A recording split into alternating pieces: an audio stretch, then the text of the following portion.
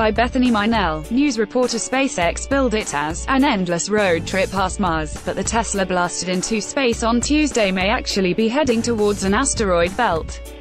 While the Cape Canaveral launch of Elon Musk's Falcon Heavy, the most powerful in the world, was a big success, it seems the red sports car may have overshot its mark.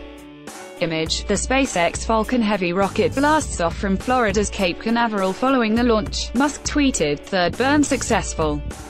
Exceeded Mars orbit and kept going to the asteroid belt. A diagram showing the orbit of the Roadster, driven by a mannequin called Starman, showed that it had gone further out into the solar system than originally planned. Other than entering Mars orbit, the Tesla looks to be on a path towards the asteroid belt between Mars and Jupiter.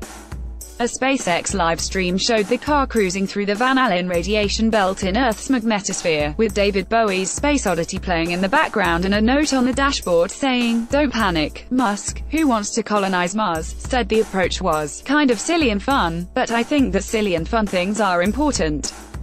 Video, launch puts electric car in orbit Initial projections indicate the car will get relatively close to the orbit of the dwarf planet Ceres. The final fate of the car, which was unlikely to hit Mars on its initial path but now could collide with a space object on its new course, is unknown.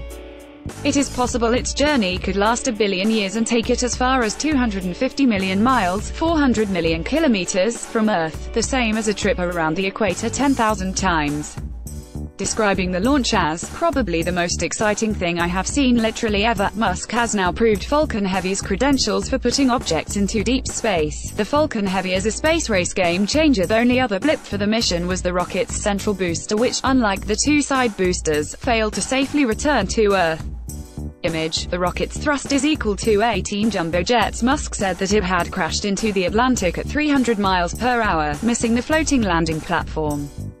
SpaceX hopes the 70-meter Falcon Heavy, which has a total of 27 engines and can carry a payload of 64 metric tons, will now be seen as a potential equipment carrier to deep space destinations. A second rocket nicknamed BFR, Big Falcon Rocket, is being developed by SpaceX with the intention of one day sending humans to the Moon and Mars.